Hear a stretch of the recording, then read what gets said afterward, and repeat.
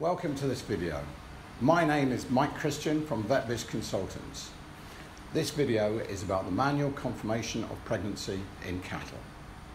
Local regulations vary according to region, so this video should be used in conjunction with an approved training course. The video consists of um, four sections, three videos, so please feel free to stop, rewind, and actually go back to pits that you want to reset. The first part is looking at slaughterhouse specimens. The manual confirmation of pregnancy is usually done by an AI service provider or by a veterinary surgeon. It is done two to three months after AI or after a cow has been with a bull. This enables the uh, operator to feel the structures and make a decision. Ultrasound examination is the best way for confirming pregnancy. While an ultrasound rectal probe provides early confirmation of pregnancy, the costs and the availability of the equipment may limit its use. The requirements to conduct a rectal pregnancy confirmation are a long sleeve AI glove, lubricants, and a pen and a notebook to record the results. You also require a crush or ropes to restrain the cow. There are always three outcomes to a pregnancy examination. The cow may be pregnant, or the cow may be not pregnant, or the third option is you are not sure. So, therefore, do not be afraid to come back two or three weeks later to confirm that pregnancy. Manual rectal confirmation of pregnancy is a task that is quite easily mastered, but it does require a lot of practice. Firstly, to identify the non pregnant structures, the cervix, the non pregnant uterine horns, and the ovaries.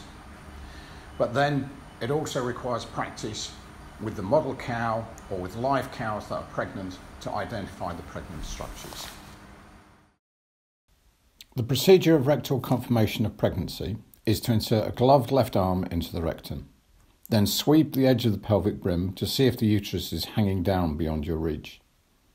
The next step is to identify the cervix. Then identify and palpate both horns of the uterus. It may be necessary to pull the uterus back into the pelvis in order to palpate both horns of the uterus. In learning this technique, it is important to be confident to identify these non pregnant structures in slaughterhouse samples before moving on to the live cow and then the pregnant structures. We are going to start then with the non pregnant slaughterhouse samples. These should be examined using gloved hands to simulate the pregnancy confirmation. Students need to identify by visualization and then by feeling the main structure. The cervix is made of cartilage and feels firm to the touch. It is always the first structure to identify. The non pregnant uterine horns are softer, usually similar sized, finger shaped, with the ovaries tucked in behind them.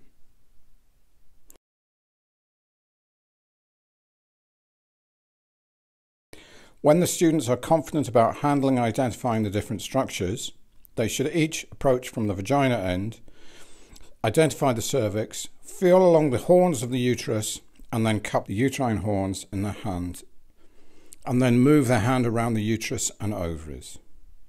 This should be repeated several times until they're confident. Once they're confident, the slaughterhouse sample should be placed in a black plastic sack and the students are to repeat the exercise without being able to see.